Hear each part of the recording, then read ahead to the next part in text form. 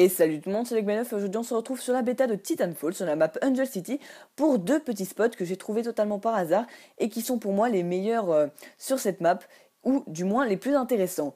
Donc ces spots tout simplement ils sont très très simples à réaliser. Vous aurez besoin pour l'un d'un titan et pour l'autre, euh, bah, comme vous voyez à l'écran tout de suite, de réaliser plusieurs petits sauts sur les deux murs.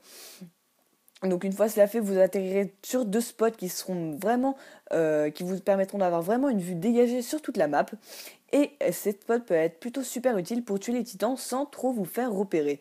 Donc voilà, donc j'espère que mes deux spots vous plairont. Vous pouvez faire un tour sur ma chaîne et lâcher un pouce vert si ma vidéo vous a plu. Moi je compte l'envoyer à la Jack et moi je vous dis à plus tout le monde.